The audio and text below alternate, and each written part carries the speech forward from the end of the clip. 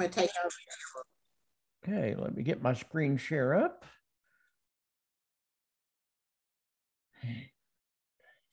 This and go up here, and I think I'm ready. So, okay.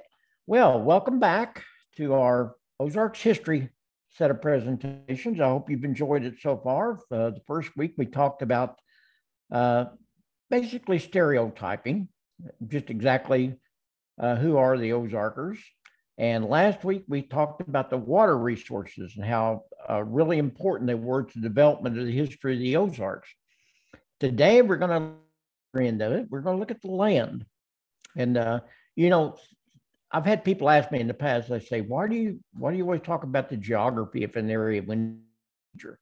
Well, it's because number one, uh, the geography of the area almost always determines to some degree what happens. And number two, I just like talking about it because it shows God's majesty. I mean, it is just it's, it's just on display, and um, boy, can you tell that in the Ozarks? There's just so much beautiful uh, landforms and water forms. So let's get into it a little bit. Uh, geology of the Ozarks. We're going to talk about the land and how it came to be like it is. It's a it is a very unique landform in the world. Uh, there's only about five places in the world that are very similar to the land, the geology, the geologic formations of the Ozarks. Now, I've been starting out my presentations uh, do this would be to familiarize you with some people that maybe came from the Ozarks that you were unaware of, and some of them you will be aware of. Um, now, this is a really distinguished looking man here. You can tell it's a, it's an older photograph, probably somewhere in the 1930s or 40s. He's got his English tweed jacket on, smoking his pipe, and you can tell he's a, um, if you're wondering who he is, he is a man who became one of the preeminent astronomers in the world, a man by the name of Edwin Hubble. Now, you've probably heard the name. You've probably heard it associated with the Hubble Space Telegra- uh, Telescope. He did not invent the Space Telescope. Telescope. It was named after because of his uh, importance to the field of astronomy. Uh, basically, um, and I'm not an astronomer, and I don't know that much about astronomy. Basically, what he did was prove that the galaxy, the Milky Way that we are in, was just a small universe. And again, that that just goes to the display of God's handiwork. Uh, he was able to prove and then, you know, uh, reinforced by other astronomers that the universe is is almost infinite and expanding at the same means that God's not through with us yet. Uh, and I believe that. So let's kind of get an overview of the parks before we get into just exactly how it came to be. Uh, if you were to look at the Ozarks, and again, this is kind of the outline. Uh, remember, it's about the size of the state of Ohio when you look at it like this. Now, you'll notice there's a lot of things going on here. For instance, um, First thing we need to note is that we're on time, and you probably have heard a lot about the Ozark Mountains. There really aren't Ozark Mountains. There are mountains in the Ozarks, uh, but not as many as you would think. True mountains in the Ozarks are the Francis, St. Francis Mountains over here in the southeastern part of the Ozarks at the headwaters of the uh, Black River and the St. Francis River. Those are the only true mountains. Now, there are a group of uh, uplift down here uh, in northern Arkansas called the Boston Mountains, but they're not really mountains geologically. They're tall, they're about 2,500 feet tall, which is about a thousand foot taller than the St. Francis Mountains but they're really not mountains geologically. Uh, they were basically a result of, of erosion. Now, there are a set of mountains further south, which you can't see on here, called the Ouachita Mountains. Mountains down there, but they're outside of the uh, basic uh, formation of the Ozarks. The Ozarks kind of has a spine. It's kind of like this. You notice it says the Salem Plateau and the Springfield Plain. That's kind of a spine because if you'll notice, the rivers to the south of that spine all the rivers to the north all flow north. That's uh, kind of like the continental divide of the of the Ozarks. Um, that's also the location of the old Kickapoo, the Indian Trail. That's also the location of what became known as the Old Wire Road or the Telegraph Road. That's also the location of what Route 66 and is now Interstate 44. It kind of follows the spine of the Ozarks. So if you travel from St. Louis to Springfield down to, say, uh, Fayetteville or you're going to travel along the spine of the Ozarks. Now, there are some uplifts within this um, area that we call the Ozarks. One of them is right in here. It's called the Salem Plateau or the Central. And it's an uplifted area, but it's basically flat, fairly decent farmland. And then there's something over here called the Springfield Plain. That's where I live, right here. And the Springfield Plain is an uplift. You'll notice here uh, how the, the map kind of shows it's uplifted, and it's probably the best farmland in the Ozarks. And it comes down like this uh, around the uh, Bentonville, Fayetteville, Rogers uh, uh, corridor, kind of like this. And there's something called the White River Hills, which are actually actually lower than the Springfield area. Uh, if you're from around here, you know, Springfield to Branson takes you about 45 minutes on a really nice four lane highway. And you go up and down hills and valleys, but you're actually downhill to Branson. Most people don't realize this. You just don't get the sense of that. And then there's some other area of hills over here. We don't see them, but they're something called the Courtois Hills, which we'll talk about next week. And up here, you got the Osage Gasconade Hills in this area up here. The overall kind of physiographic outlook of the Ozarks, that kind of gives you an idea. So, what we're going to do is we're going to try to figure out how all this happened because it is a really unique geologic place in the United States.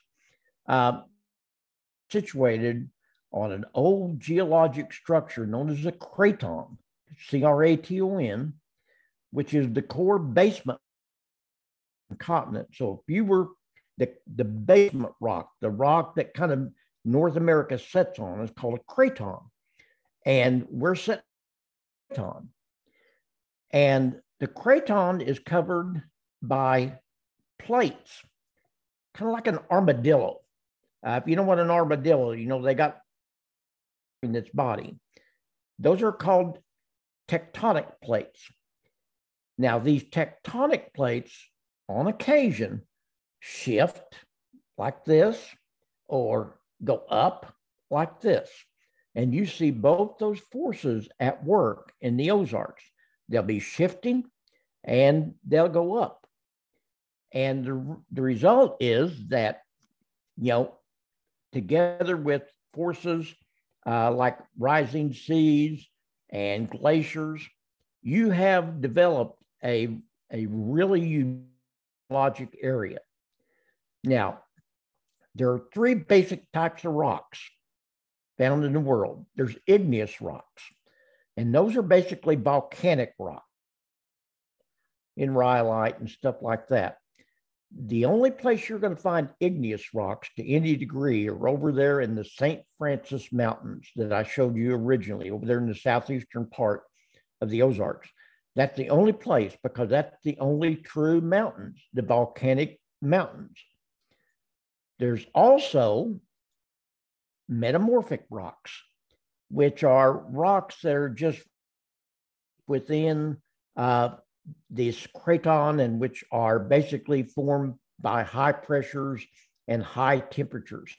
There's very, very, very little metamorphic rock in the Ozarks. It just almost is one place that you can see it in abundance. And that's a place called Hawn State Park over near St. Genevieve, right at the very edge of the Ozarks. But that's, uh, they don't really play a major part in the Ozarks and the history of it. By far and away, the most common rock that you're going to it's called sedimentary rocks. And these are rocks that were laid down as a result of deposits of shale and purely limestone. And these were left by seas. If you don't know, the Ozarks were covered by seas many, many times in the past. Some of those uh, coverings lasted eons. Some of them lasted only for thousands of years. And, uh, a great deal of falling and rising seas uh, covering the Ozarks. And each time that happens, it leaves sediment, sedimentary rocks. The result is you find a whole lot of shale and dolomite and particularly limestone in the Ozarks. Is what kind of is the key element in the geologic development of this Ozark uplift. It makes it one of the oldest and most unique regions in the United States. If you were to travel from east to west in the United States, you know that the first thing you're going to find the East Coast and the Appalachian Mountains, and they are true mountains. Um, and they are taller than the Ozarks. There is a debate about whether or not the Ozarks or the Appalachians are older. Um, I've, I've read both cases where some people think the Appalachians, most people think the Appalachians are older than the Ozarks, but there are some that believe the Ozarks are older. If you leave of the flat farmland, particularly that area that was created by the glacial uh, formations, and you know, Appalachians, particularly in the northern part, Indiana and Ohio and uh, Illinois and Iowa and you're going to just have flat land. There's not a whole lot of mountains and, and hills and valleys in this area. It's very flat, to agriculture. Down south of this glacier formation is where you find the Ozarks. And they were there. It's very, very old. In fact, the case uh, there are some people that believe the original St. Francis Mountains are taller than the Himalaya mountains. I don't know that I believe that. I've read that. Uh, that seemed awfully big to me. Uh, but the big mountain ranges in in the world, the Himalayas, uh, the Andes, all these really big mountain ranges that you'll find throughout the world, they're really new. They've they've only been around geologically a very short period of time. Places like the Ozarks and the Appalachians have been around forever. And not very tall is because they've been worn down by erosion. And as a result, you have what's known as uplift. So let's look at how all this was formed and the result of all this formation. Now, if you don't know, uh, the formation of the Earth, we're going to do Earth science here, is formed in the basically four different areas, eras, pardon me. There's the Precambrian, which scientists tell us uh, lasted about 3 billion to about 550 million years ago. Long time, okay? That's what scientists tell us. Uh, it was during this period of time that you have a lot of formation of the Earth through a volcanic origin. Um, pressures from the up in the center of the earth forcing its way up. And you have mountains being formed, particularly volcanic. And again, some of the oldest mountains in the United States, if not the oldest mountains in the United States, are found in the Ozarks. And that's the St. Francis Mountains, all mountains if you're speaking French. Uh, as you will find out, the Ozarks uh, have a lot of French place names, and we are notoriously bad in these places. Uh, they have taken on a whole new meaning in the Ozarks uh, as far as pronunciation. Uh, they're actually the St. Francois Mountains, but we call them the St. Francis Mountains. Um, and again, there are people that believe that St. Francis Mountains were as high as the Himalayas at their origin. I, I almost find that hard to believe. Who am I to argue with the, with the uh, experts? Uh, the highest elevations in Missouri are still found here. Uh, but, you know, that's not, uh, I'll show you a picture here of the St. Francis Mountains in a few minutes. You're going to be really disappointed if you think that you're going to see majestic mountain peaks like uh, you see in the Rockies or even the Appalachians, you're going to be disappointed because they're not very big, and they're and that's because they've been eroded over all these eons and eons of years. Um, one of the best, the igneous rocks, these volcanic rocks that were formed, can be found in something called the Johnson's Shut-ins on the St. Francis. Um, and you're going to find here, you're going to see evidences of these uh, igneous rocks because you're going to see evidences of something called rhyolite, which is basically nothing more than magma, lava. Um, the uniqueness of this is that some of these have left their with very unique colors. Uh, magma, when we think of lava, we think of black. Uh, they're not necessarily black in the Ozarks. In fact, in case there's some red rhyolite, there's some green rhyolite, there's some blue rhyolite. I'm going to show you a picture of the same of this Johnson shut-ins here in a minute, and I'm going to show you a picture of, of like blue magma. It's really unusual. Um, another example of these igneous rocks that were formed during this volcanic period of the Precambrian are something called, and they're found at the top of the St. Francis Mountains and they're just gigantic boulders, um, which you know, time people didn't understand exactly where they came from. Well, where they came from was that they were just basically blown up out of these old ancient volcanoes and then left on top of the mountain range. And as the mountain range was eroded, these tors, as they're called, these weathered boulders were left sitting on top of the bedrock. And the result is that they they just you know there's human people for years for, couldn't understand exactly what they were. The ancient Indians of the area used to worship these things. They thought they were gods. So unique. And I'll show you a picture of these. The biggest one is called Dumbo. He's 27 foot tall, 34 foot long, 17 foot wide, and weighs an estimated 680 tons. Solid rock. Uh, so here is some of the metamorphic rock that can be found. This is about the only place you're going to see metamorphic rock in the Ozarks is a place south of St. Louis uh, and a little bit east of St. Genevieve. Uh, very, very unusual to even see any metamorphic rock. This is the St. Francis Mountains. Now, I told you you're going to be disappointed. They're beautiful. There's nothing, I mean, you know, they're not ugly mountains by any means at all, but they're sure not, uh, you know, the Rocky Mountains or anything, Alps or the Himalayas. They look almost more like hills. They're beautiful hills, but uh, they're so eroded over the past billions of years that they just.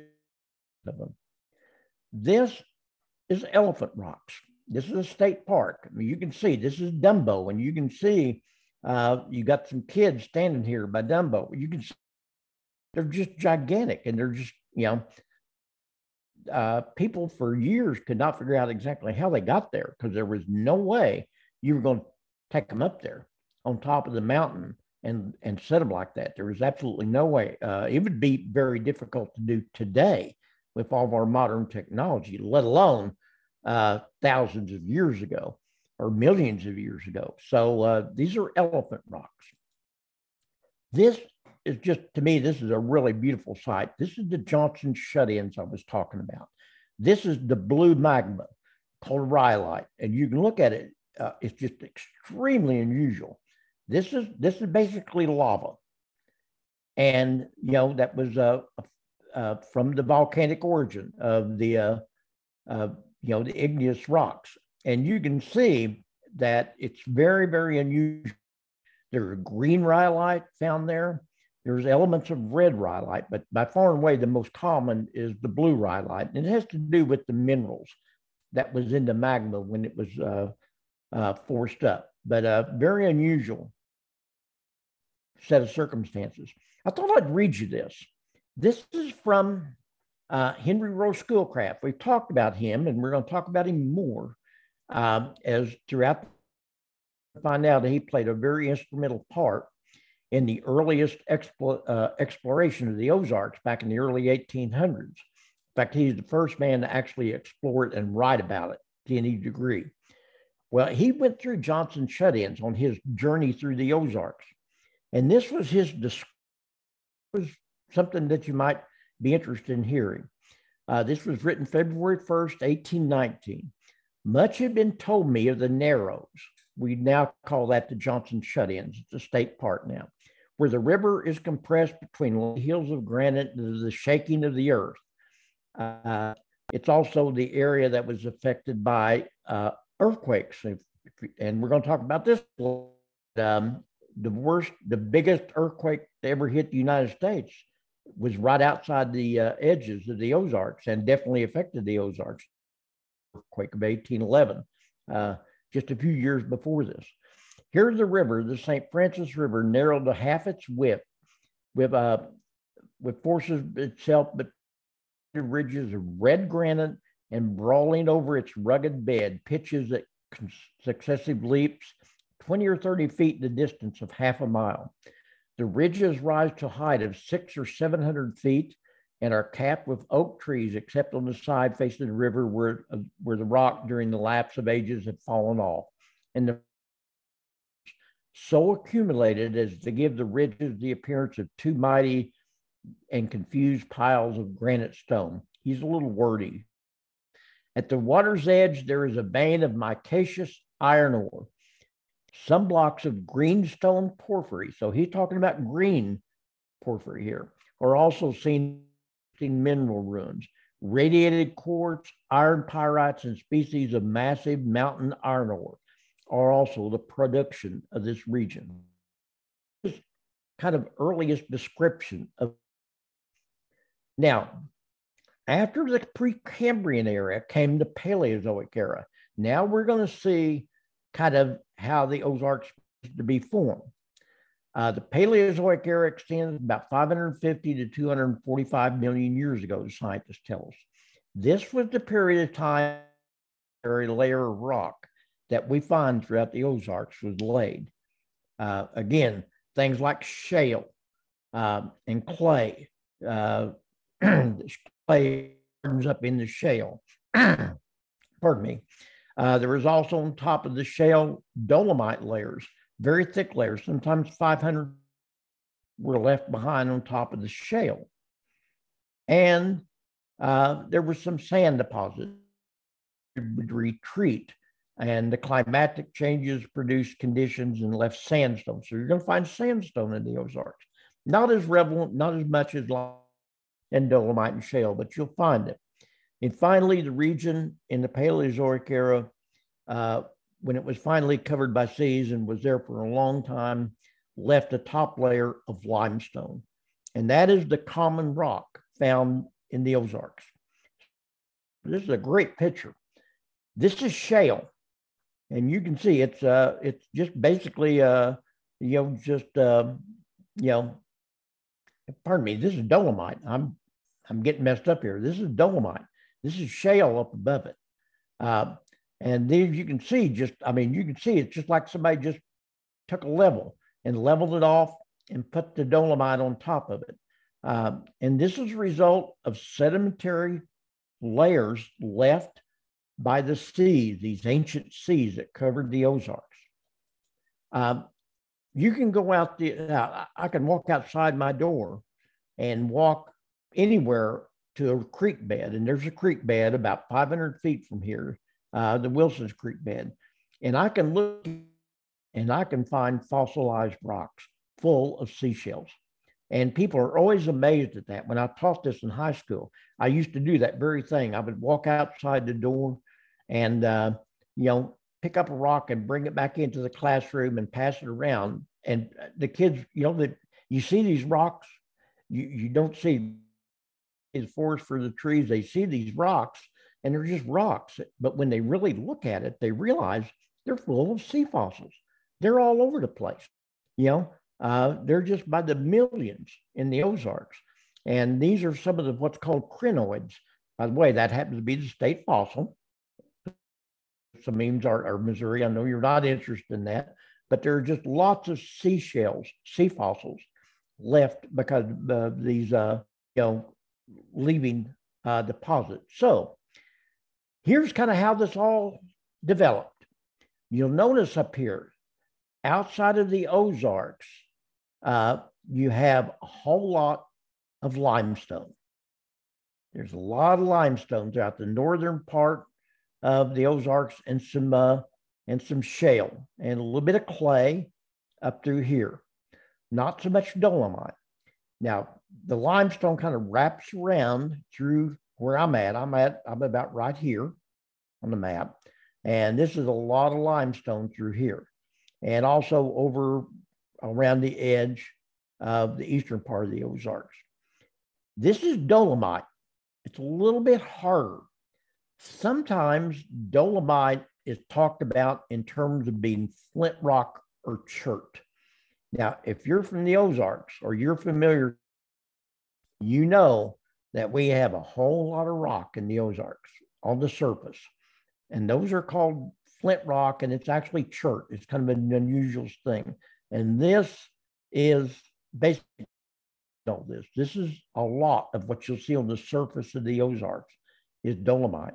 There is some sandstone, not as much. You'll notice the green is the sandstone. Diorite and rhyolite and granite are found only right here in the St. Francis Mountains. That's it. That's the metamorphic and the igneous rocks, and you're only going to find them right here. Uh, because these are the only true mountains formed volcanically. And so, by far and away, dolomite and limestone, and a little bit of uh, and shale and a little bit of sandstone is by far and away the majority of the rocks that you're going to find throughout the Ozarks. So, continuing on with development, you've got the rocks laid down now. Now, from about 245 to about 66 million uh, the seas covered the Ozarks and retreated many, many times. But for shorter periods of time, they would rise and fall, rise and fall, rise and fall. Whereas back in the Paleozoic era, the seas basically covered the Ozarks and just gradually uh, left and, and fell and leaving all this sedimentation. This time, you're going to see a more back and forth uh, many, many different times. The result is that this is where you're going to see the erosion of these tall hills. This is when the erosion begins to take place.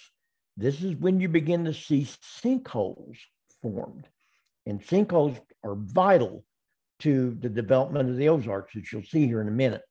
It's also the period of time when you see some iron ore left.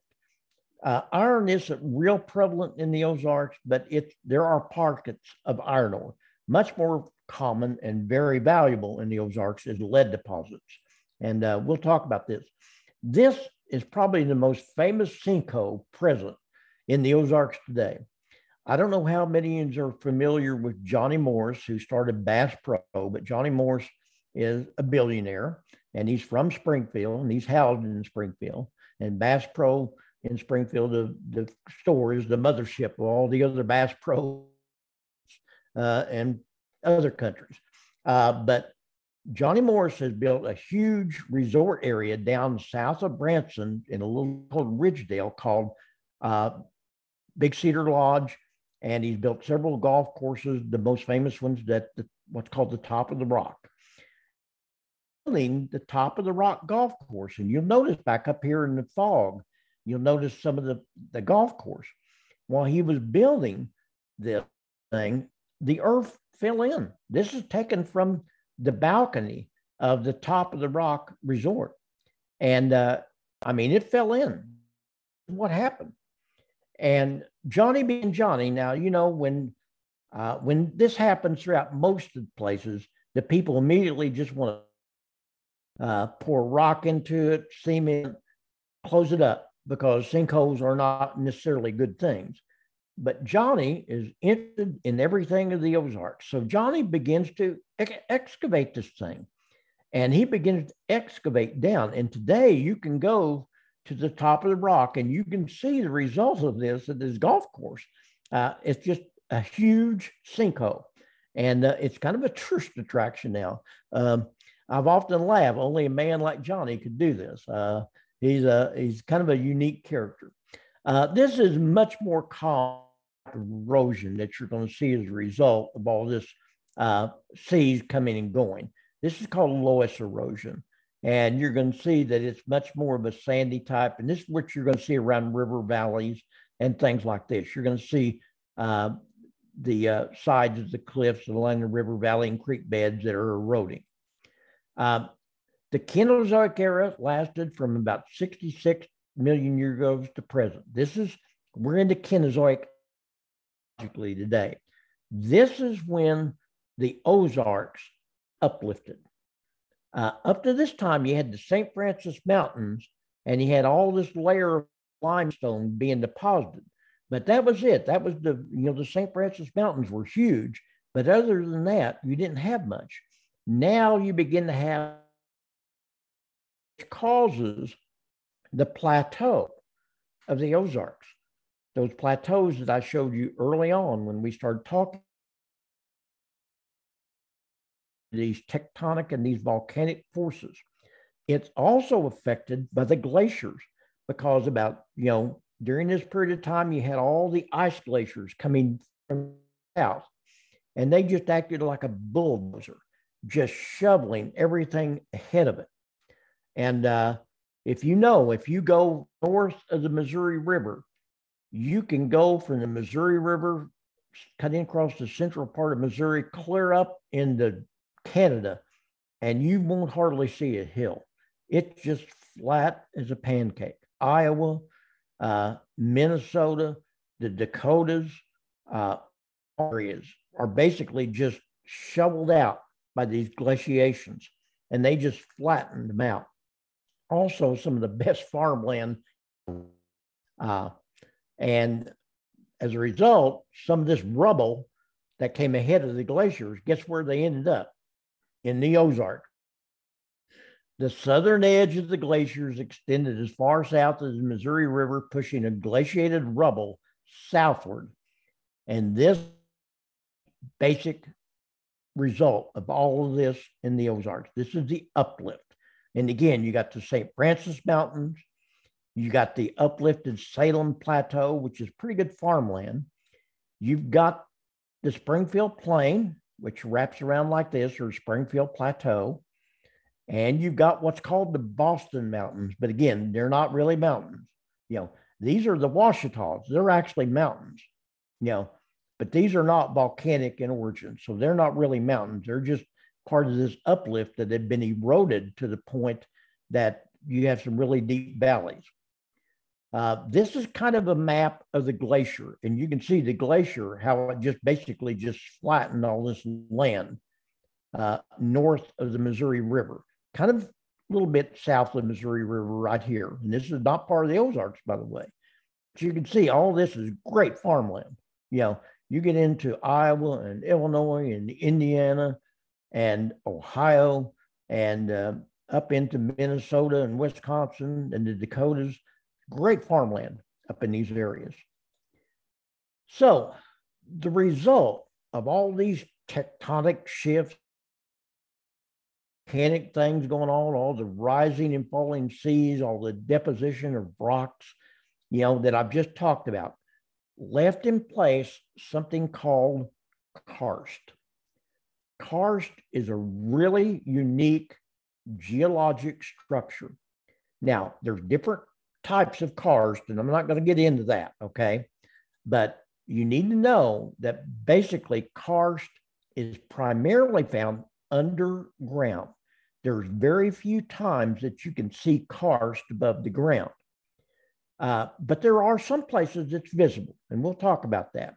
Uh, karst that's found in the Ozarks, the unique kind of karst that you're going to find in the Ozarks, can only be found in about five other places in the whole world. Southern France is one place. By the way, that is the place, if you associate winemaking in France, it's in the southern part of France. Guess what? Winemaking is a big deal in the Ozarks today. And that's because there's a whole lot of similarity on the types of, of land. Uh, there's a province in China called the Guangxi province, and it's very much like the Ozarks. The Yucatan Peninsula of Mexico is very much like the Ozarks.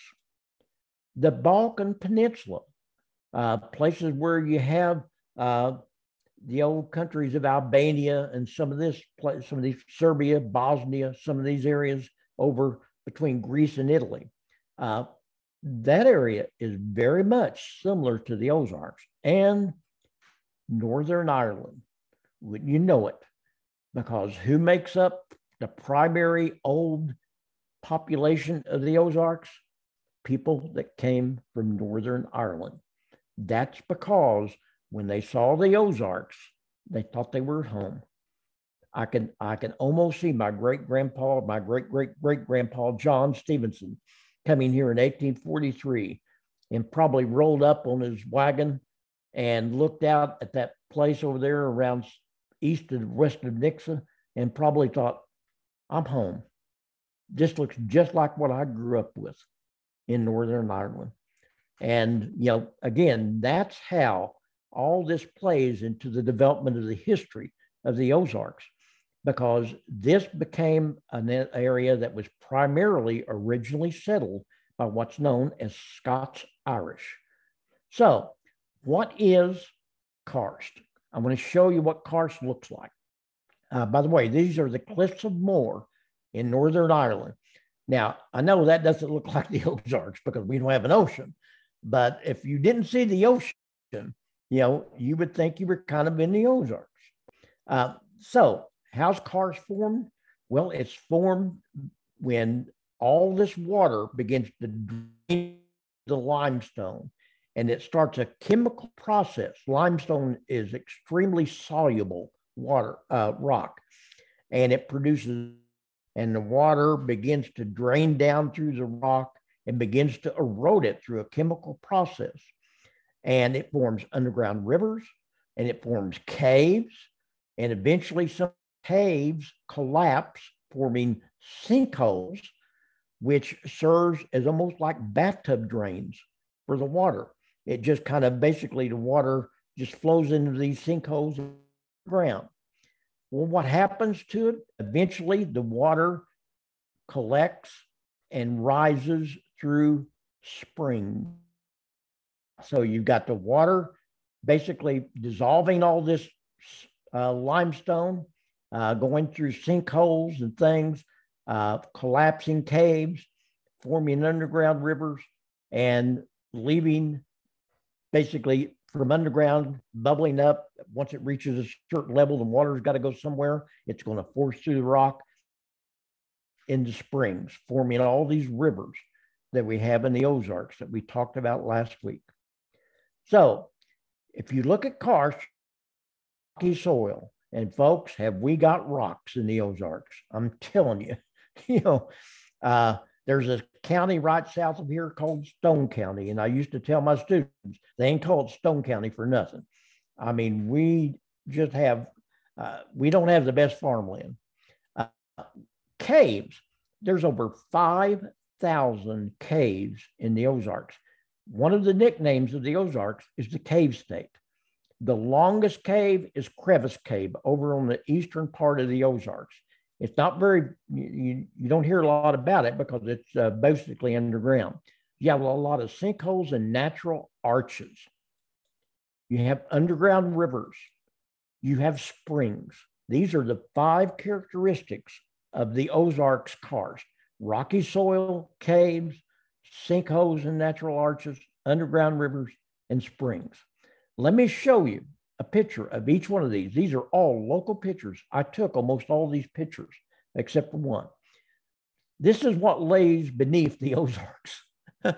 um, I want you to try to farm that. I'm telling you, it's not easy to farm the Ozarks. you got to be really tough if you're going to farm the Ozarks because it's basically about an inch of soil and hundreds of feet of rock. You know, uh, uh, I used to have a friend that that had a farm here, and he called it he called his farm Moss and Rocks Farm. And I said, "Why do you call it that?" And he said, "Because that's the only thing I can grow was moss and rocks." You know, and I believe it. This is a cave. This is the entrance to Smallin Cave, uh, right near Ozark, Missouri, about 15 miles from here. Uh, one of the biggest entrances uh, to the to a cave in the Ozarks today. Uh, this is a description of uh, Schoolcraft's description of Smallin Cave, and I'm running out of time, so I don't have time to read this to you. But basically, he uh, he described the Smallin Cave. This is a, a very famous sinkhole right here, about two miles from here, called Panther Cave Sinkhole. You can't see it very well, but it's about 50 foot down into the thing, and there's a cave in there. And uh, I know very, I'm very familiar the Panther Cave Sinkhole. Uh, because of my own thing. This is the what's called the Hootentown Arch. It's about 15, 20 miles from here. And this was formed as a result of natural arch that was formed a result of this karst weathering. Uh, and so you're going to find these throughout the Ozarks. And this is an example of one of the underground rivers in these caves. This is at Onondaga Cave up uh, on the spine of the Ozarks. This is, I did not take this picture. This was taken uh, this is one of the many show caves in the Ozarks. And finally, you have Car- Terrell Creek Spring. This is one of the thousands of springs that you'll find in the Ozarks. And uh, this thing just comes out from under a cliff of rock, and the water just flows through this 24 hours a day, seven days a week, 365 days a year. Uh, if you want to see karst at its best, there's a place up near a town called Camdenton, Missouri, right south of the Lake of the Ozarks, that has all the karst you would ever want to see. It's at Ha Ha Tonka State Park, and uh, it's just an absolutely beautiful place. Some people say that it's one of the best state parks in the United States, and every element of karst is on display uh, caves, sinkholes, springs, underground rivers, natural arches. You can see it all right here at Ha Tonka State Park. On top of that, on top of the bluff, there somebody built an old castle back in 1905, burned down in 1942. So all you have left is the shell of the park. And uh, I have a video here, but I'm running out of time. All right, thank you. It's um, it's Friday, so that means it's time for a one tank trip. And for those of you who love the great outdoors, traffic anchor Deja Jones takes us to Ha Ha Tonka State Park, showing us the rich history behind the beautiful area. On this edition of One Tank Trips, we visit Ha Ha Tonka State Park in Camden County, Missouri. Located 155 miles from Kansas City, this trip took us two hours and 34 minutes. The park was started here and the state acquired it in 1978. Originally, why the state was so interested is because of what we call karst topography, which is basically how uh, water reacts and moves through bedrock. Uh-huh. And that creates like uh, characteristics of karst topography would be springs, sinkholes, natural bridges, uh, caves, a lot of things that you'll find here at Ha Ha Tonka. And while the natural features are one of the main attractions, it's the castle that is most popular. It all happened before uh, the Lake of the Ozarks was even thought of. Uh-huh. Um, a man by the name of Robert Snyder uh, came to the area. He fell in love with it, uh, primarily because below us here, below the castle, um, there was a spring-fed lake, which uh, below is Ha Ha Tonka Spring, Missouri's 12th largest spring. So Robert Snyder came to the area, fell in love with it, and decided that he was going to purchase a large amount of land and build a European style mansion here up on the hill. Uh, he started construction around 1905 and um, a year later was killed in a tragic automobile accident. His sons took over. Uh, it took quite a while for the construction. Um, all the sandstone, all the lumber, everything was taken right here on site um, through like a kind of a, a railroad system and uh, uh, mules pulling carts with the stone from the quarries out on the trail, which you can actually go see out on the quarry trail. It was used as more of a, just a retreat and vacation home than anything. It had 60 rooms. The family fell out of love with the area a little bit and eventually um, leased the castle out to Miss Josephine Ellis. Um, Miss Josephine Ellis turned it into kind of like a bed and breakfast resort. And then in 1942, it burned. Oh, no. October 20th, 1942. After learning about the castle, we went to another popular site in the park, the Natural Bridge. This natural bridge was created after a cave collapsed. It is said to have been a meeting place for tribal meetings and church revivals. Along with the history, there is plenty of wildlife to see as well. If you're here at the state park, Hahatonka's got the armadillo. Yeah terrible little creatures. Armadillos aren't good. What do they even do? Uh, they burrow and they breed and spread like crazy. They're not really native to the area. So what's there doing, armadillo? Why are you there? That's weird. It's very close. I don't know where the fear comes from. Uh, birds? I forgot. Right? Yeah, birds. It's mainly of owls, but that thing looks close enough. With over 17 miles of hiking trails, kayaking, boating, fishing, and camping options, you're bound to see some of the natural wildlife. Another guaranteed site, the water. It, led to a spring-fed lake here where the Lake of the Ozarks eventually consumed it. We have a courtesy fishing dock. You can come down. I mean, you can jump. We don't have a designated beach, but you can swim here along the shoreline uh, as long as it's in the lake and just not in our spring. There is no shortage of beauty and activities here at Ha Ha Tonka, and the best part is that it's free. The park is open every day from 10 a.m. until 5 p.m. For One Tank Trips, Deja Jones, 41 Action News. Okay, so sorry, I ran a little bit late, but I thought you'd like to see that. So next week, we're going to look at the geographic Ozarks. The Ozarks is actually nine different regions. A lot of people think the Ozarks is all the same. It's not. Uh, there's it's not monolithic. Uh, there's so many different areas to see within the Ozarks. And then we're going to get in after that. We're going to start talking about the Native American history of the Ozarks. I know uh, you're probably all anxious to hear about that because we're going to talk about the Trail of Tears with the uh, Cherokee Indians. We're going to talk about the Osage uh, the Delaware, some of these ancient tribes that, that lived in the Ozarks. So I'm sorry I ran a little bit late today, but sometimes your plans get messed up. What is it? You know, so, so interesting. that is great. Uh, okay. Thank you, Rachel. Yes, it was perfect. Thank you so much, Tony. I hope everybody has a great rest of your day. Okay. Thank you. Thank you. Bye-bye. Bye.